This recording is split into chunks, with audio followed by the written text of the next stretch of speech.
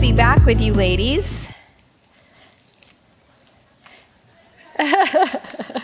After our amazing trip, and I know some of you uh, did come with us on the footsteps of Paul. It was an amazing trip. We had a wonderful time in Greece and Turkey and in Italy. And, um, you know, we're teaching, uh, or I'll be teaching through the book of Acts next year. Um, I'm very excited. So I took lots of pictures to be able to show you next year because we walked the footsteps of Paul. I'm guessing somewhere, I feel like last time we went, which was eight years ago, we walked 70 miles. This time was more. So I'm going to say 80 at least miles. So it was a lot of walking. It is more walking than the Israel trip by far, uh, and it's many, many modes of transportation. So you were on a plane, and then you're on a bus, and then you're on a ship, and then you're off the ship, and on the ship, and off the ship, and then you get on a bus, and then you get on another plane, uh, and then you get on a train. So it's, and then you get back on a bus and a another plane to come home. So it's just a lot of modes of transportation. It is um, an amazing trip for those that went with us on the trip. Anybody here that went with us on the trip? Oh, many of you. Praise the Lord. It was such a blessing, and you can talk to these ladies and, um, and find out more and maybe what their favorite spots were. But I picked just a couple. I want to show you some pictures uh, this morning of just a couple of the places that we went that obviously have biblical significance. The first place we went with Athens, and I have a couple pictures of Athens. So this is up on the Acropolis. This actually is the Temple of Athena. So I have a picture of what it used to look like. So there's this is what it used to look like in Paul's day. So he would be down on the ground looking up at this big hill, and this is what he would see. And, and I'll show you what was inside this temple that. The only thing that was inside the temple was that uh, the, the goddess Athena. And so they had, it was very interesting to see that they uh, created this um, huge, gigantic uh, building with all of this ornate gold and decorations and colors on the outside.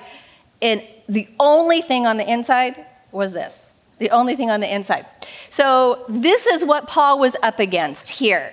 He would come through the streets of Corinth, and I have a picture of that. It's where everybody is sitting down in John's teaching. Let's see if we can get that up not on the hill, but everybody's kind of sitting in a row. Nope, that's Ephesus. So uh, we'll get there. So everyone's sitting down, and John's kind of teaching in this long, no, that's Ephesus, but uh, we'll get there. It's okay. I threw a bunch of pictures this morning at them. No, that's um, Rome we're going to get there. And I'm going to show you that behind John, as he's teaching, I think, unless you didn't get it. But, anyways, there is the uh, Agora, which, which is, uh, oh, that's Mars Hill. That's close. Okay, so we'll keep that one. So there's John doing his famous portrait mode uh, on Mars Hill. That's okay, you can keep that one up if you want. But um, that is also in Athens, and that's where I was trying to go in order in my mind, but John, um, or not John, but Paul taught from that hill in Mars Hill. And that is where he preached to the uh, socialites of the day, the uh, theologians of the day. And he was smart because when he walked through this marketplace, it was lined with pillars upon pillars upon pillars, like 300 gods lined, except for there was one mark to the unknown God. And he noticed it. And so up on Mars Hill, he sat there and he preached, he brought Jesus over. He built the bridge, which we this is how we build the bridge to bring Jesus over. And he was so wise that he brought Jesus over through uh, this unknown God. And so we'll talk about that next year. Uh, and uh, there, he had several responses. He um, obviously had people that made fun of him, mocked him, and he had critics, and then he had those who believed uh, in his message. So that's Mars Hill. That's also Greece, Athens.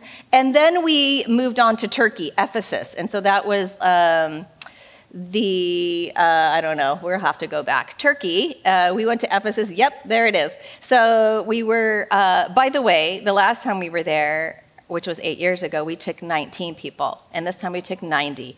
So our group was much larger. Uh, praise the Lord, we were able to maneuver through all these sites and all of these time schedules on, off a, a train, a bus, a boat, a plane, and um, get everybody everywhere safely without leaving anybody behind. Praise God. But this is Ephesus. So I think out of all the sites this time around, this is the one that really struck me more so because um, what I don't know why I didn't really, it didn't connect the first time we were there, but on these streets, those very streets, do you see them where the people are sitting? Those are the original streets in Ephesus. So on those very streets walk not only Paul the Apostle, but John the Apostle and Timothy. They walked on these streets because Paul planted the church in Ephesus and left Timothy to pastor that church.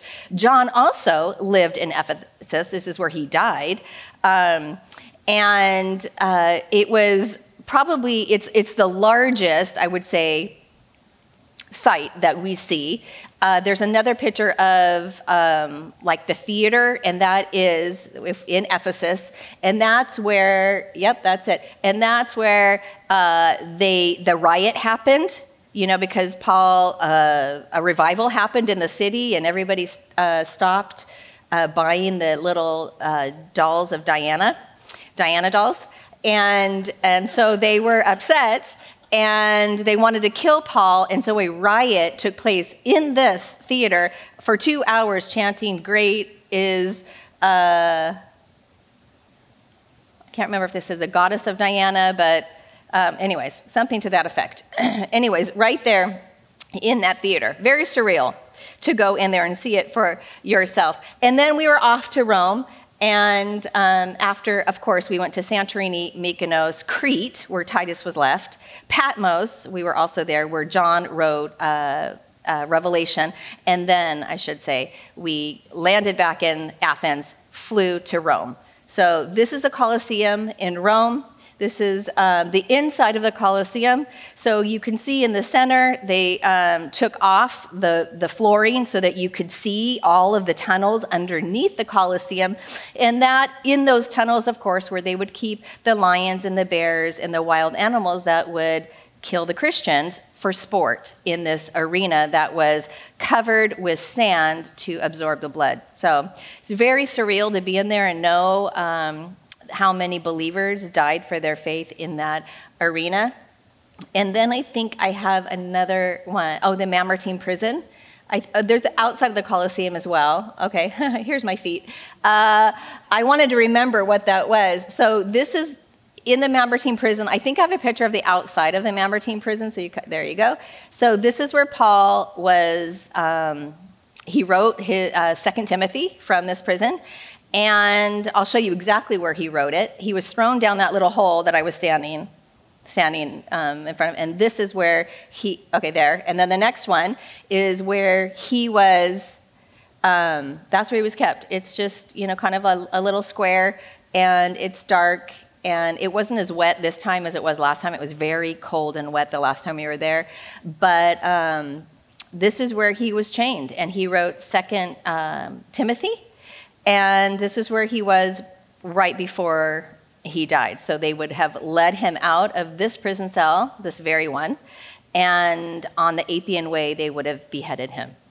So um, it was very surreal to be in the very place that Paul the Apostle was, where he wrote his final words to uh, Timothy. And um, I think that's it. So, uh, so I gave you a little bit more than last night because we have a little bit more time. But, anyways, I wanted to share a little bit with you. I wanted to excite you to let you know one, we're going to be going through many of these sites, um, not in person, but I will pull a lot of them for you next year uh, to give you visuals and um, to let you know what it used to look like, what it looks like today. And, um, and, anyways, I know I'm visual, so it really helps me to see. But we had a wonderful trip. And um, without further ado, though, I want to do get into uh, Mark chapter 14. And I, I'm going to start by apologizing because I gave our sweet Marilee the wrong text. That was totally my fault. So we played a switcheroo on you just to see if you were awake and alert last week. And I watched it. It was fabulous. I learned more than I really wanted to about olive oil. It was amazing. And so I did bring olive oil home from Italy. So I'm just sort of like, drinking the olive oil because of all of the amazing benefits of olive oil that I found out watching Marilee. And um, if you weren't here, you go ahead and watch it because it was really, it was a really, really good study.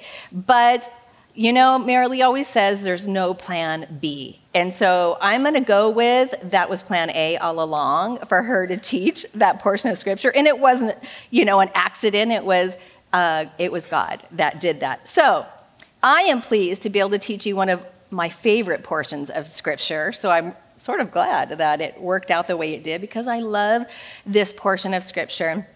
I love uh, Mary. I love her act of devotion. I love her extravagant worship of God. And there is much to be learned uh, by observing her acts and gleaning from them.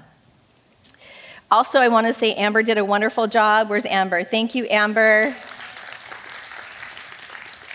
She took probably the hardest chapter in the whole book of Mark. Uh, it wasn't by accident. I know God stretched her to do it.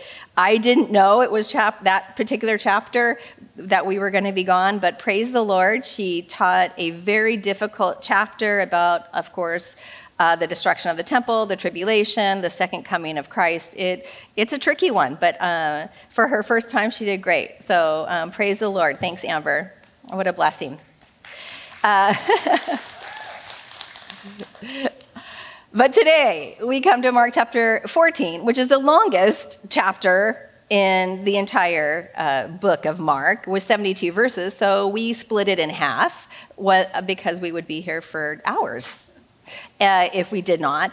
But um, today we have reached the final, really, moments, hours, uh, days of Jesus' life. Now, and today we will see four different responses from four different types of people that, um, as Jesus was about to be delivered into the hands of um, his enemy. The first response is the worshiper, the second is a critic, the third is a traitor, and then the fourth is the self confident one. Beginning with verse 1. After two days, it was the Passover and the Feast of Unleavened Bread, and the chief priests and the scribes sought how they might take him by trickery and put him to death. But they said, Not during the feast, lest there be an uproar with the people. So we have to picture that Jerusalem was extremely crowded during the Passover. About two and a half million people would assemble in Jerusalem for the Passover, and we know that the Passover was symbolic of Israel being delivered from the bond of Egypt, and that final plague that was uh, given by God, which was to uh, destroy or kill the firstborn of every household, uh, was given, and that really is what I would say bent Pharaoh finally to let the people go, at least temporarily. But the only ways that the Jews could escape this plague was if they killed a lamb and took the blood of the lamb and put it in the form of a cross over their um, doorpost. And then the Lord would pass over them. Passover was a great time of expectation. It was a great celebration for them. Since Passover remembered the time when God raised up a deliverer, raised up Moses to free the people from their oppression, it was a time of great patriotism in Israel and a, a time of great anticipation for the coming of the Messiah. However, the Romans were on guard because of all the people that filled Rome at the time, and they were ready if there was a hint of revolt at any point in time. But in the midst of this celebration, in the midst of the anticipation. There was a scandal brewing. There was a conspiracy that was uh, being hatched in the shadows there in Jerusalem. And Matthew's gospel tells us that it was the chief priests and scribes that had gathered at the home of Caiaphas to come up with a plan of how they could put Jesus to death. But the timing of their plan had to be perfect for fear of the people. Perhaps they would cause a revolt and that Rome would get involved. John's gospel seems to indicate that they wanted to arrest Jesus at the feast, but they were unable to do so. So, Mark, sort of after this initial couple verses to let us know what was happening behind the scenes uh, with the enemy, conspiracy, and uh, the scandal that was brewing, Mark shifts gears now from this deceptive plan to this beautiful act of extravagant worship, revealing to us the first of the four responses to Jesus, uh, in that uh, Mary is an example to us of one who truly worships the Lord and what it looks like. Let's look at verse 3. And being in Bethany at the house of Simon the leper, as he sat at the table, a woman came having an alabaster flask of very costly oil of spikenard. Then she broke the flask and poured it on his head. So apparently, Simon the leper had been healed by Jesus, and perhaps he wanted to give him an appreciation dinner or something that says, Thank you for healing me of my leprosy. In the other Gospels, we're told that Lazarus, who had just been raised from the dead, was there, as well as his two sisters, Mary and Martha. As the food was being eaten and the fellowship was enjoyed by all, the women who, uh, or the woman that Mark does not name, but John does, is Mary, the sister of Lazarus, who got up and poured a flask of costly oil on the head of Jesus. Now, we must remember that this is a separate event from another woman, a sinner, who her sins were forgiven, and she brought an alabaster box with ointment and broke it at the feet of Jesus because she was overwhelmed by his forgiveness of her sins. That anointing was forgiveness of sins. However, this anointing from Mary was twofold. One, it was an act of uh, extravagant devotion, and it also was an act of um, anointing him for burial. Often, spices and ointments were used as investments. Instead of carrying around money, they would carry around a small flask of ointments, a small flask of um, spices. It was small, it was portable, and they could be easily sold. The best ointment, however, was preserved in alabaster, suggesting for us here in our story that this perhaps was a family heirloom that was passed down from grandmother to mother to daughter. Now, this flask was a small bottle with a thin neck, and the interesting thing about this is that, much like a piggy bank that you cannot open to get to, this flask, once it was broken, could not be shut up because the flask had a, a, a small neck to it, and the only way to get in was to break the neck of it. And once you broke the neck of the bottle, you couldn't repair it. It's not like it had a cork that you put back on it or a screw top or anything like that. To use it, it was all or nothing. Mary went uh, much further than the customary greeting. Because the customary greeting, when somebody came in, your guest of honor or a guest came in, you were to take a dab of oil and put it on their head. We see by this act of Mary that she, a dab didn't do it for her. For, for her, it was all or nothing. She poured the entire contents of the alabaster flask of very costly oil on the head of Jesus.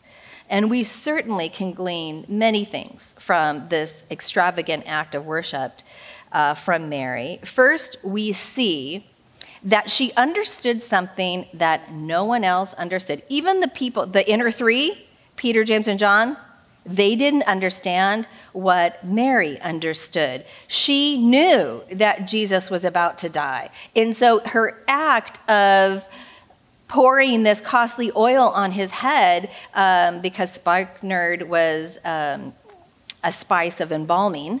She was saying basically, I'm preparing you for burial. This was wonderfully perceptive of Mary. Uh, and of course, she was there when he rode in on the donkey as a king would. And so she's thinking, like, of course, I'm going to anoint my king, and I understand what where he's going, what's happening. Perhaps she didn't know the timing of it, but she knew something that even those closest to Jesus did not know. And we'll find out how she knew that in a moment. Second, Mary did this without a word. We gather that Martha was a talker and Mary was a listener, right? Because we see this in scripture. She was a doer. She didn't announce to everybody. She didn't come in and say, Hey, everyone, I'm about to anoint Jesus with oil. I'm going to use my uh, dowry uh, to anoint Jesus with oil. She didn't describe what she was going to do, she just did it. She didn't explain herself, she just did it. And I couldn't help but think are we those who just do it when we're prompted to worship Jesus? When we're in a room that is full of people, are we afraid of what people will think? Do we need to ask permission? Or do we worship Jesus extravagantly, whatever that looks like to you? James 1:22 reminds us that we are not to be hearers only, but we are to be doers. Because if we are hearers only, he says that we will deceive ourselves. It's deceiving if you hear the word and you don't do the word. If you hear the word and you don't practice the word. If you don't if you hear the word and don't apply the word, what good is it going to do for us? So Mary did this act without asking anybody their permission. It was a response out of her great love for Jesus. It was an outflow of the inflow. Thirdly, she did it without hesitation. It was a natural response because she loved Jesus. She was in love with Jesus, so it was a natural response. She didn't look to the disciples and ask their opinion. She wasn't at all concerned about what they thought, even. She was only concerned about what Jesus thought. She was out to please Jesus alone. Her audience was an audience of one.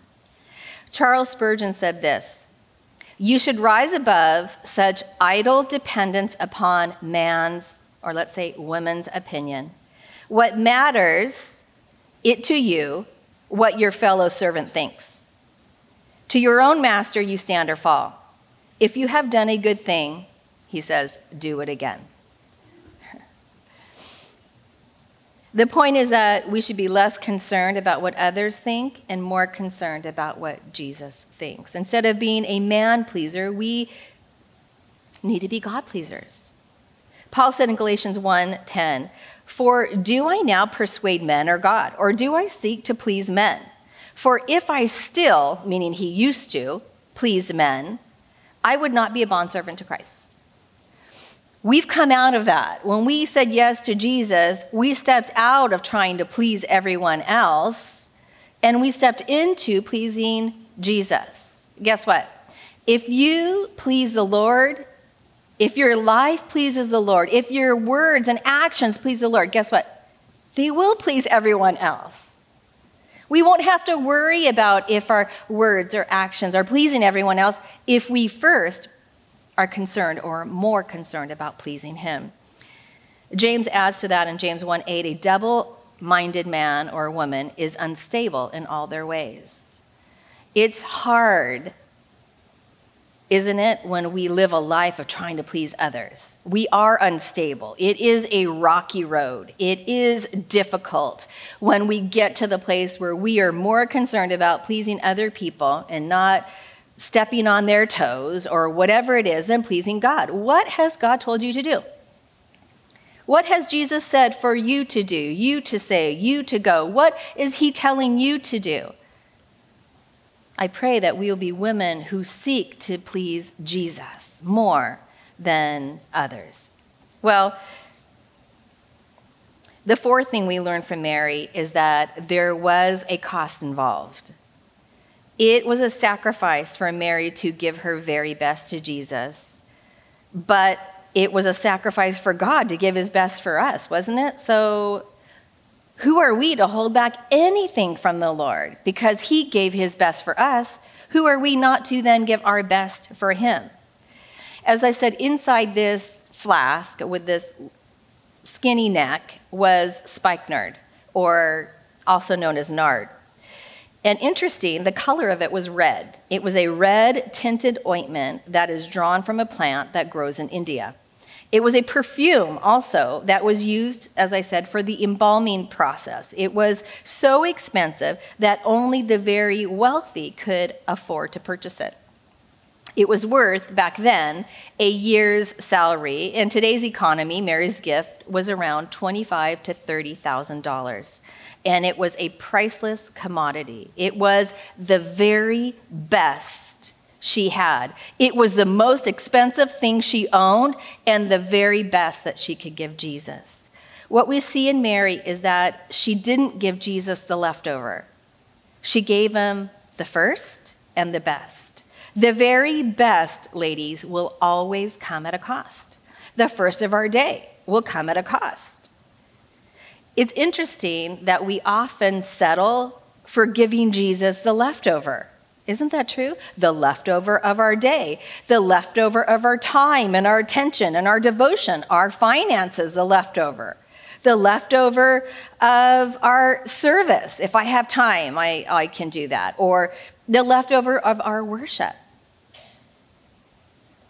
Why is it so hard to give Jesus our first and our best?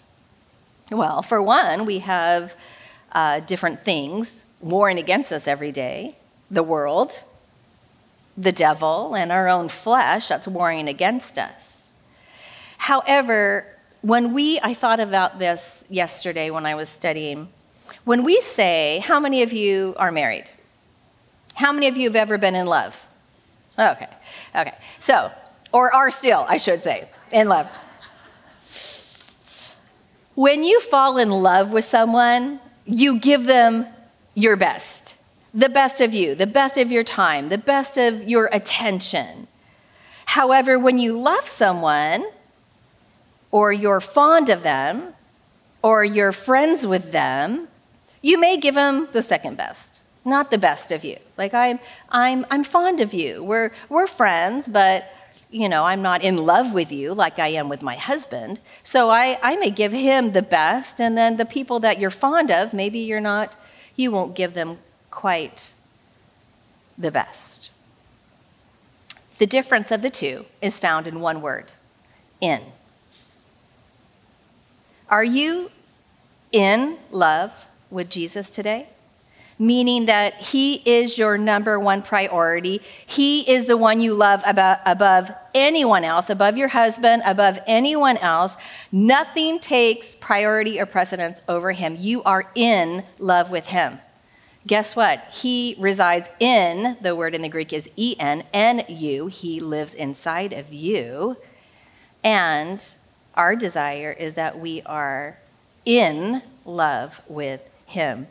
You know, Jesus asked this very question of Peter after Peter had denied him three times.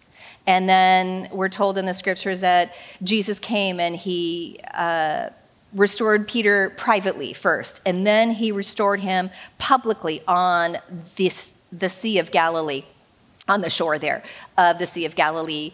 Uh, and they had breakfast together. And after they had breakfast, John 21 15 says this So when they had eaten breakfast, Jesus said this to Simon Peter Simon, son of Jonah, do you love me more than these? We don't know. Is it these, these people, these, the, his occupation of fishing? I think he went back to that. Uh, and, and he said to him, Yes, Lord, you know I love you. And then Jesus said to him, his instruction as a leader of the church. Now, he is going to be the leader of the early church, Peter, the one that chopped off the ear, denied Jesus. Wow, we should find comfort in this, shouldn't we? That Jesus told, that he gave him charge, the keys to the kingdom to Peter. Anyways, he gives them instruction. He gives them three instructions. The first is feed my lambs, feed my little ones, teach my little ones. And then he said to him a second time, Simon, son of Jonah, do you love me? And he said, Yes, Lord, you know I love you. And then he gave him the second instruction tend my sheep, meaning love them, uh, um, care for them. And then a third time he said to Simon, uh, son of Jonah, do you love me? And Peter at this point was grieved. And he said to him a third time, uh, Do you love me? And he said, Lord, you know all things. You know I love you. And Jesus said to him, Feed my sheep. Most assuredly, I say to you, when you were younger, you girded yourself and walked where you wished. But when you are old, you will stretch out your hands, and another, another will gird you and carry you where you do not wish. This he spoke, signifying what death he would glorify God. And when he had spoken this, he said to him two words. This is it. What are they? Follow me. Follow me. Follow me. That's what he said in the end. Even though Peter responded, well, first of all, how many times did Peter deny Jesus? How many times did Jesus ask if he loved him? Right. There is significance to this, I do believe. However, after giving him the instruction, we find something very um, important for us, I do believe, in that Jesus asked him, Do you love me? And the word he used for love was agape, meaning a sacrificial love. The, a love that does lay down your life for Jesus. Now, we will learn at the end of our uh, portion of scripture, our text today, that Peter uh, self confidently says, I will lay down my life. I don't care about all these other losers. I will lay down my life for you. and then he denies Jesus three times right after that. So he, he isn't still, he is not able to use this word. Jesus uses the word three times Do you phileo me? Do you love me with the self sacrificing love that you will lay down your life for me? And Peter responds, Jesus, I phileo you. I am fond of you. I love you. I'm not in love with you yet, but I love you. Something happened to Peter as he matured in Christ because his heart all along was to be able to lay his life down for Jesus. He struggled there for a bit along the way. However, he would get to that place. He would go from phileo to agape because Jesus tells us, and history tells us, that Peter did lay down his life for Christ. He did die a death of crucifixion upside down on a cross because he, he didn't feel worthy to die the same way Jesus did. So he requested to be crucified upside down he would get there.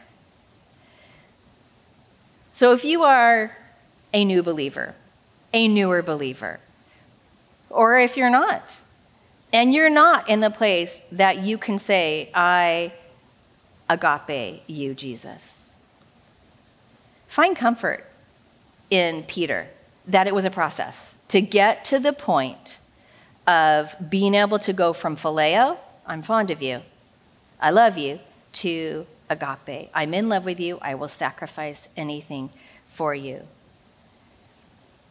Oswald Chambers said this If human love does not carry a man beyond himself, it is not love. If love is always discreet, always wise, always sensible, always calculating, never carried beyond itself, it is not love at all. It may be affection, it may be warmth of feeling, but it is not the true nature of love. Mary understood what the others could not understand. She understood this agape love. And for her, it wouldn't be laying down her life, it would be giving her best. This was a huge cost, a huge sacrifice for her because true love always is a sacrifice, isn't it? It's death to us, our ways, our wants, our desires. And it's so that uh, we can um, bless others, encourage others. And we see that of course, Mary has a pattern in Scripture. We see her three times. And every, three, every time we see Mary in Scripture, we see her where?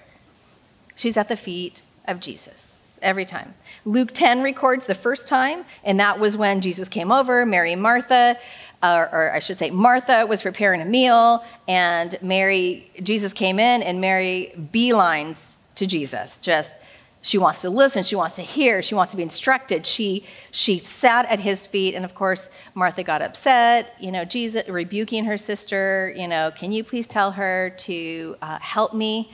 And um, and Luke 10:41 says this, this is the response of Jesus to Martha. Martha, Martha, you are worried and troubled about many things, but one thing is needed. That's it. And Mary has chosen that good part which will not be taken from her. How many in here in this room are Marthas? Be honest, I am. Okay. Normally it's more. Be honest with yourself. Are you a Martha? Okay, okay. Normally it's at least three fourths of the room. So we tend to be busy bees. You know, we, uh, we've learned to be a Mary, but it has been a learned thing learning to be a Mary. Most of us are Marthas, but we have to learn to be a Mary.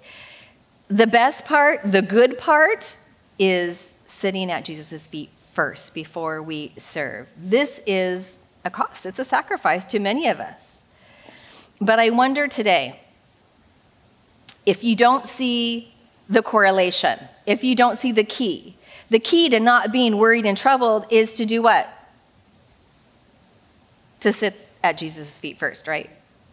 If we sit there first, we will be less worried or we won't be worried because we've, we've received from the Lord. We've, we've heard from Him. We've, we've gotten encouragement from the Lord each day.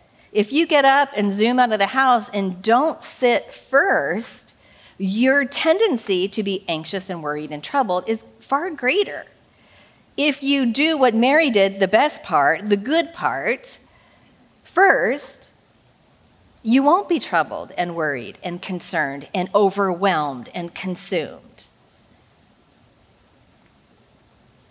John 11 records the second time that we see Mary at the feet of Jesus. That was when her brother had died. Her brother died, and you remember the story that Jesus prolonged his stay. They, they called him to come, and he purposely, it was planned, preordained that he did not come until Lazarus was really good and dead and stinky. Like he purposed to wait because the miracle that he did was to raise Lazarus from the dead. And he did that to prove that he alone is the resurrection and the life. However, Mary didn't understand why Jesus waited. Have you ever not understood why something happened? I'm kind of there right now with a situation, a situation, an unfortunate, very sad, devastating, tragic thing that happened to somebody that John and I know. And I've been asking, why, God, why? Why? So sad. So sad. It's just, it's grieving. Whenever I think about it, I just can't even get past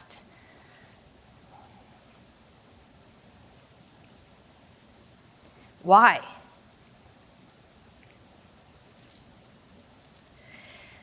But God knows, right? God God is good, nevertheless. And so, even though um, I'm not sure whether this man that we knew was saved, um, I am trusting and praying that somehow in his last moments of life, he got saved. Um, he was one of the three surfers that was killed in Mexico. And um, it's just, I can't even, it's devastating. I just can't even, um, can't even wrap my head around it. Um, John did share the Lord with him. We were, he was our trainer at the gym, and um, you know, invited him to church. But you know, I feel like these are the things sometimes that we don't understand why. And so I kind of put myself in Mary's shoes and say, I get it. When there's been a death and you don't understand why, we have to trust that somehow either God intervened or I don't know. But I'm trusting that He did. I'm going to go with that. but the point that we see here in Mary's falling at the feet of Jesus is that she was overwhelmed and she was experiencing pain and she was experiencing grief because her brother had died. But where did she go when she was experiencing pain and suffering and sorrow and grief? Where'd she go? She went to the feet of Jesus. She didn't go to other people, she went to him. She went to him when she needed instruction and encouragement. She went to him when she needed um, comfort when she was experiencing great sorrow and grief. Are you overwhelmed today? Has the burden really weighed you down more than you can bear? Can I encourage you to bring your burdens to the Lord? Cast your cares upon Him because He does care for you and He can comfort you. Jesus said in Matthew 11 28, Come to me, all you who labor and are heavy laden, and I will, not I might or maybe, but I will give you rest. And here in our scripture in Mark 14 is the third time we see Mary at the feet of Jesus, and this time she worshiped him. She came with her. Um, um, with her questions. She came with her burdens. She came uh, to listen and be instructed and for guidance. And she also came to worship him. Many commentators believe that this flask that Mary broke on Jesus' head was her dowry for marriage. And it's interesting because as I thought about her breaking this flask over Jesus, knowing that she couldn't pour any of it back, once it's broken, it's broken. You pour it all out when it's broken.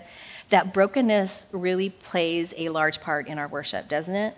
when we are broken before the Lord, that is when it is a sweet smelling aroma to the Lord. When we come to Him and humble ourselves and are broken before Him, it is sweet to Him. It pleases Jesus that we go to Him with our heartache, with our questions, with our worship. Psalm 51:17 reminds us the sacrifices of God are a broken spirit a broken and contrite heart, O God, you will not despise. The Hebrew word for contrite comes from the root word meaning crushed, meaning beaten and broken into pieces.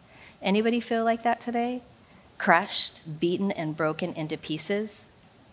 Guess what? That is pleasing to the Lord. He welcomes the contrite, crushed heart. But the fact remains that our hearts can become calloused even in a time of grief.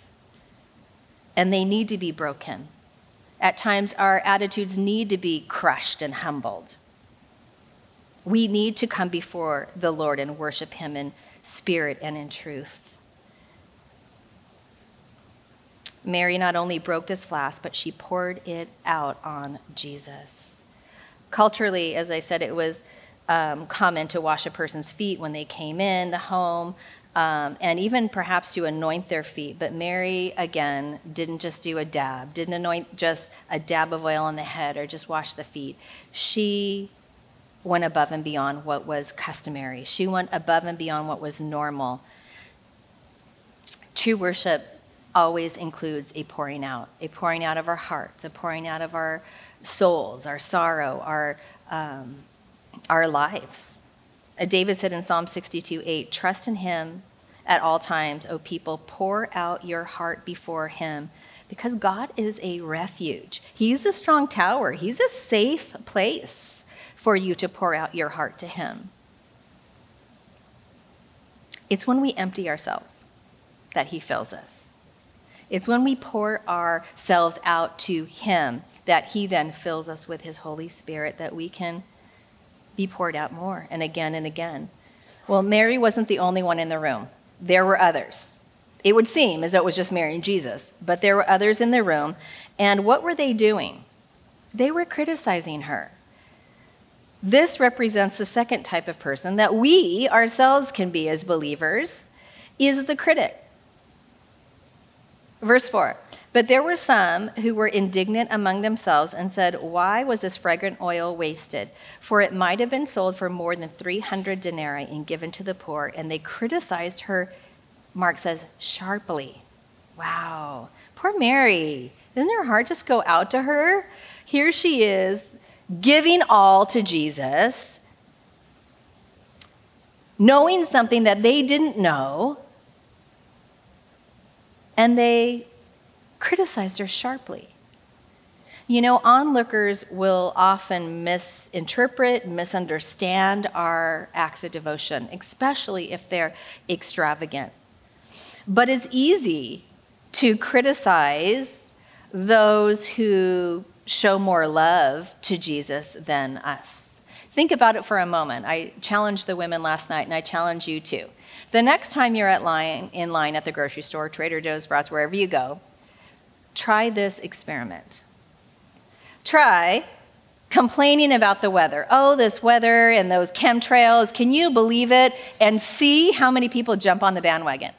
And then try a different time saying, Isn't it a beautiful day today? The birds are chirping and the sky is so blue, and see how many people jump on that bandwagon. My point is, it's much easier to jump on the complaining, critical bandwagon than it is to jump on the praise the Lord for the beautiful day bandwagon. And this is just people. This is us. I mean, even as believers, we can jump on a political bandwagon and criticize much more than we can praise the Lord for something we have to be mindful ourselves that we are the ones that are uh, jumping on the praise the Lord for this beautiful day bandwagon and not can you believe this and that bandwagon. We need to, um, to set the stage. But the point is the, the people doing the criticizing, they were believers. They were the ones that were closest to Jesus, that traveled with him for three years, the inner three.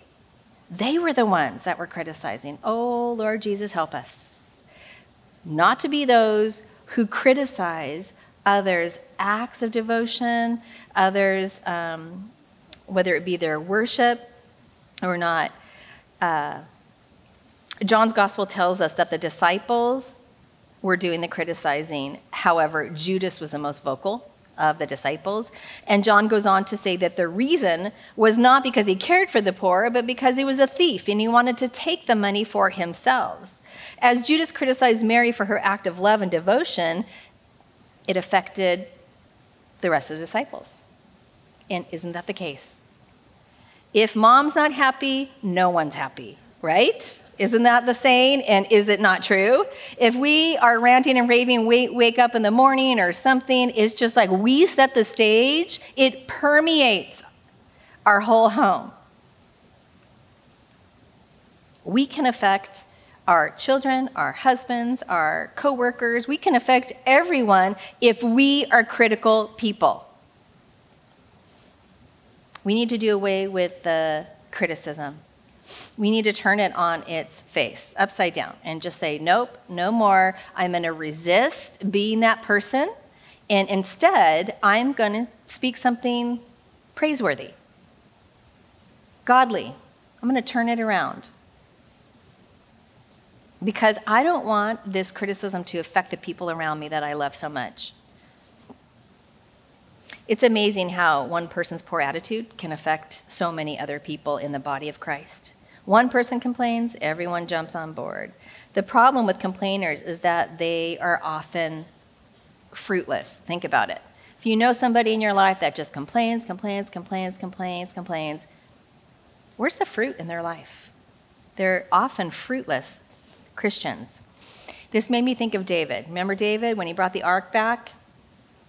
Um, and he was worshiping God. It was extravagant in his own way. He wasn't at the feet, you know, like Mary, but his own way. He was whirling and dancing and excited about the worship and, and, and the Lord, and he was rejoicing, and they were bringing the ark, and it was a great celebration. Great celebration. And his wife, Michal, looked down and rebuked him for being so undignified. Um, and she criticized sharply his worship for the Lord. However, 2 Samuel 6:22 tells us that the result of her constant criticism and ridicule of David was that she became barren. She was fruitless in the room. Judas criticized Mary, saying, What a waste! What a waste. It's interesting that the word waste means perdition. Later, Jesus would call Judas the son of what? Perdition, the son of waste. In other words, Judas criticizing Mary for her act of devotion, calling it a waste, ended up his life being called a waste because it cost him eternity. However, this act, this extravagant act of worship from Mary, would be talked about forever. Her worship not only impacted the entire house, it impacted us right now. We're reading about it and we're gleaning from it and going, Lord, I want to worship like that. I want to give my all like Mary. And Jesus said that it would be an example he commemorated it. He, he said it will be a memorial to, to all people, not just women, but to men and women and Christians and everybody that would read about it. Verse 6 But Jesus said, Let her alone. He stands up for her. Praise God. Why do you trouble her? She has done a good work for me. Remember what he said about Mary and Martha? She has cho- chosen the what? The good part. She's done a good work. This is good. For you have the poor with you always, and whenever you wish, you may do them good. But me, you do not have always. They didn't know that Jesus was going to be crucified in hours. She had done what she could. She has done what she could. She has come beforehand to anoint my body for burial. So Jesus tells everyone, leave Mary alone. And although Mary's motives were misjudged, Jesus was pleased with her heart. He was pleased with this um, act that she did, that she knew what no one else knew, that she gave her all for Jesus. And then he says in verse 9, Assuredly I say to you, wherever this gospel is preached in the whole world, what this woman did here today will be told as a memorial to her. What Mary did, although it was costly, although it was criticized, it resulted in being told for years, thousands, thousands of years. And still, it inspires us, her act of devotion. She was a worshiper. The disciples, unfortunately, criticized her. They were critics. And our third type of response is, of course, with Judas, the traitor. Then Judas Iscariot, verse 10, one of the twelve, went to the chief priests and betrayed him uh, to them. And when they heard it, they were glad and promised to give them money. So he sought how he might conveniently betray him. This was really the final straw for Judas. His agenda was going to be unveiled now. So he goes and he seeks a, I guess, a convenient time to betray Jesus, the opportune time. And isn't that the way the enemy works? He waits, he watches, he's patient. He seeks the opportune time, a convenient time for him, not convenient for us, but convenient for him to ensnare God's people. Verse 12 now, on the first day of unleavened bread, when they killed the Passover lamb, his disciples said to him, Where do you want us to go and to prepare? that you may eat the Passover. And he sent them two of his disciples and said to them, Go into the city, and a man will meet you carrying a pitcher of water. Follow him. Wherever he goes in, say to the master of the house, The teacher says, there is a guest room in which I may eat the Passover with my disciples. And then he will show you a larger upper room, furnished and prepared. There, make ready for us. So his disciples went out and came to the city, and hey, they found it just as he said to them, and they prepared the Passover. It was time now to celebrate the Passover meal. This would be Jesus' last meal. And his disciples needed a place to celebrate it. I love verse 12 saying, Where do you want us to go and prepare. I have it underlined in my Bible. So often, we don't take time to ask God this very question Lord, where do you want me to go today? What do you want me to prepare today? What do you want me to do today? The Lord simply says, Ask. Ask. Ask, and you will receive. So often, we don't take time to ask God. We rush out of, um, in the morning and we, we don't even say, Lord, is there something you want me to do today? Would you order my steps? We simply go and say, Lord, bless my day today, or bless this, or bless that. Not order it, prepare me for the day that is ahead. And you know, the best way to prepare yourself for the day that's ahead is by doing what Mary did sitting at the feet of Jesus, receiving the word praying, connecting with your Creator, Jesus, before you just get up and go. That way, we're prepared and we're not taken off guard when something happens during the day. We need to ask what the Lord wants for our day. Lord, what do you think about this? Talking to Him all the time, praying without ceasing. Is this your will? Should I do this? What do you think about this? And if we take the time to do that, Jesus will lead us specifically, guide us specifically, answer specifically, like he did with them. He gave them specific instructions. In fact, they were a little odd. The instructions were a little odd because it wasn't, first of all, there was two and a half million people in the city. Like, how are they going to find a man carrying a a water pot, a pitcher. Well, even though there was a lot of people, the Lord did divinely orchestrate and guide them. However, this was odd to see a man carrying a water pitcher because it was the woman's job. So it would be something that would, let's say, stand out in the two and a half million people that were there in the city, that a man would be actually carrying a water pot. It wasn't normal, but needless to say, the man, he was found, and he, it was just as Jesus said. And I love that. We read that over and again, just as he said. They went to get the donkey, just as he said. It was just like, just as he said. What is the Lord telling you? And it will be just as he said. But we have to listen. We have to ask. We have to respond.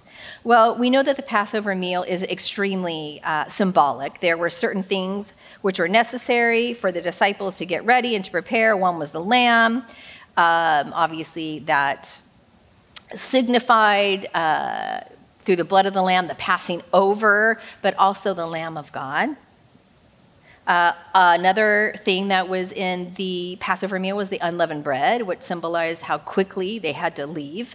The bowl of salt water, there are several things, but I'll mention a couple that was to remind them of their tears that they shed while they were in Egypt. And then they were to have a collection of bitter herbs to remind them of the bitterness of their slavery. In addition to that, there was certain seating around the table, and uh, the guest of honor would always sit to the left uh, or in one particular seat.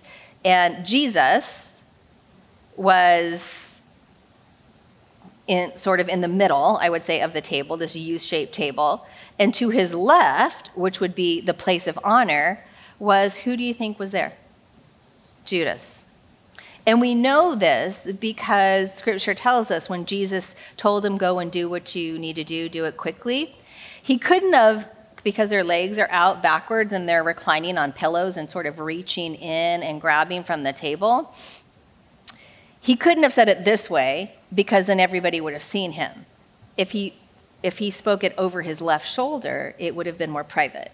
You know, he, w- he would have been able to say it fairly discreetly and people wouldn't have heard. So Judas was in the place of honor.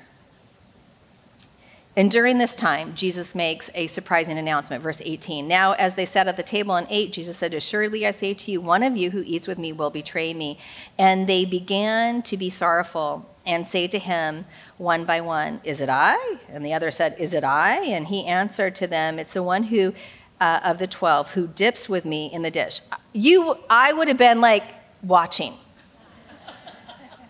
Obviously, they all dipped in the dish, but I would have been like, Who is it? Who is it? Who is? It's not me. I'm not going to deny you, but that would have been me. But verse 21 says, Then the Son of Man indeed, the Son of Man indeed goes just as it is written of him. But woe to the man by whom the Son of Man is betrayed. It would be better for him not to have been born. So we, Jesus announces, Someone's going to betray me, and it's actually one of the 12 of you. Notice, though, that none of them point to Judas. None of them say it's the guy with the mustache and the black cape. It's him, right? We thought so. None of them point to him. That's how good he was. They all said, Is it me? They were shocked at the statement of Jesus. They all had dipped in the cup. It could have been any of them, but never in their wildest dreams would they have thought it was Judas. No one suspected him. That's how good Judas was at faking it. He was a wolf in sheep's clothing. They all trusted Judas. He was a treasure for the group. No one suspected him at all.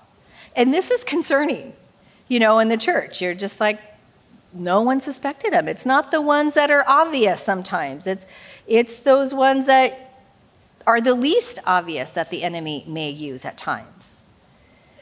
Even after Jesus whispers over his left shoulder to Judas and dismisses him, basically, they still didn't say it was him. I'm like, you would have thought, like, oh, yeah, it's the guy that just left, right? He's the one that's going to. Nope. That tells us even more so how much they trusted him. It's amazing.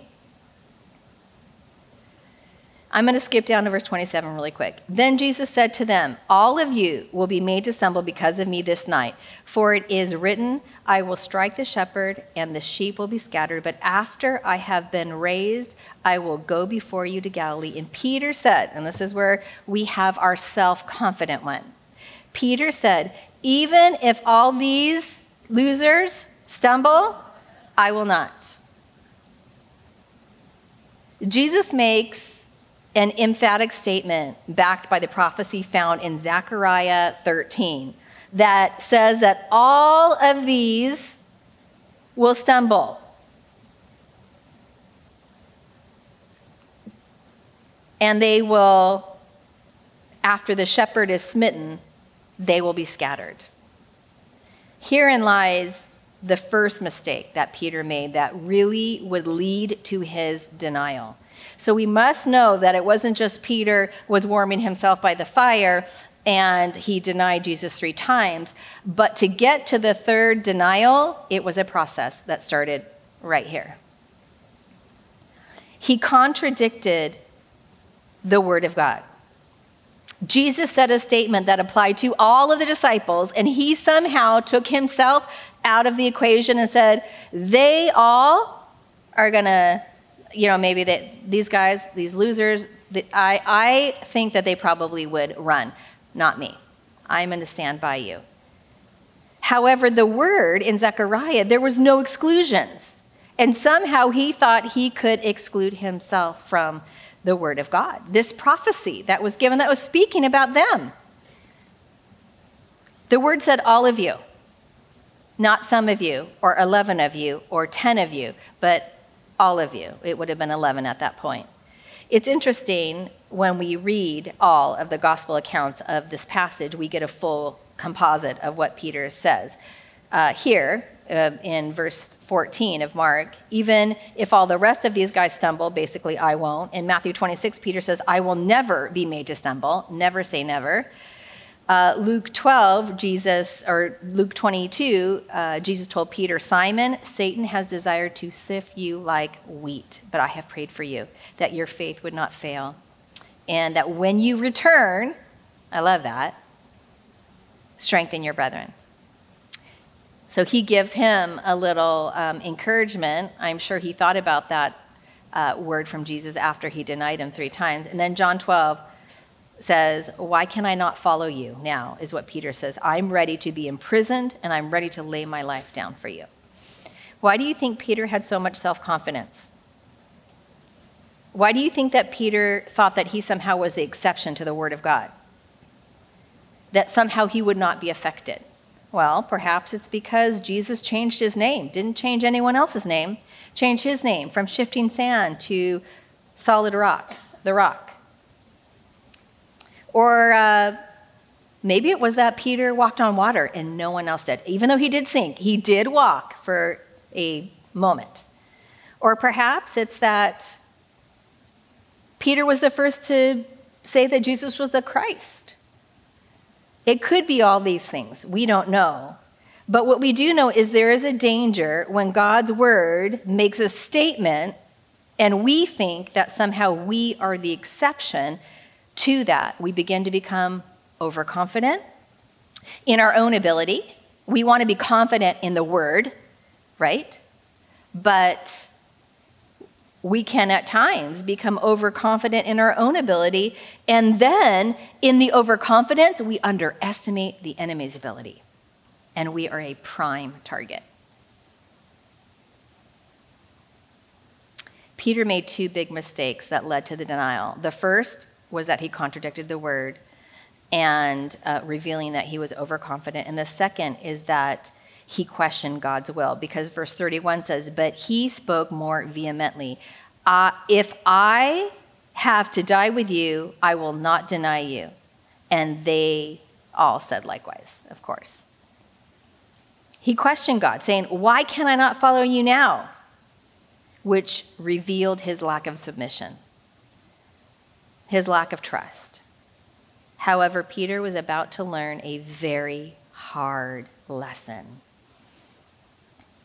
You know, there's people who have to learn the hard way, and there's people that learn from other people's hard mistakes. The Bible says that the wise learn from the mistakes of the foolish. And I don't know which one you are. I've been both. I've learned from others, and I've had to learn from my own. But Peter was one that had to make his own mistakes big time to learn from them. Cut off the ear, you know, that's coming, you know, or that was last week. Um, was it last week? Cut off the ear, okay. Cut off the ear. He, you know, this was prior to that. I mean, he would continue to make big boo boos and blunders, continue to do so. And again, that would lead his anger, his, his, um, righteous indignation that got the best of him, cutting off the ear of Malchus, servant. Um, and of course, Jesus, that was the last. That's right, Mary Lee did talk about it because she said something really profound, and I remember it. She said that the last miracle that Jesus did was healing one of his disciples' mistakes. And I was like, oh, that's good. Peter made a mistake, but the last miracle he did was fixing Peter's boo boo. He did it. Peter now was spiraling down and learned a very, very hard lesson after he denied or denying Jesus three times. But I wonder if he would have gleaned from Mary, if he would have learned from Mary's example, if it would have changed the outcome of his hard lesson. Some choose to learn from others that have made mistakes, and others choose to make their own. Peter would have to learn for himself the hard way. And our prayer my prayer for you is that we'd be learn, those who learn from the mistakes of others. Okay, definitely do not want to do that. Instead of being so self righteous, self confident in ourselves and our abilities that we have to make big boo boos and blunders to learn the hard way. However, what we do know is that Jesus knew that Peter was going to do this and still chose him to be the leader of the early church. I love that about Peter. I love his character. I identify with it, with him. Uh, that he was impulsive, that he was stubborn, that he was um, tenacious. He was. There are so many good things in Peter, but he really just had to be tempered by the power of the Holy Spirit, and he would be. He would be when he was baptized with the Spirit at Pentecost. But as I close, I thought that because this chapter talks about communion, something that I have not done this year with you ladies, and I really wanted to do it. Hopefully, you each have a communion cup. If you do not, can you raise your hand? Does anybody not have one? Okay, great. All right, all right. Thank you. Margot has some. Mordora, we got some. If you don't, just raise your hand. We want to give you communion. I'm going to ask Christina to come back up. And as we close out,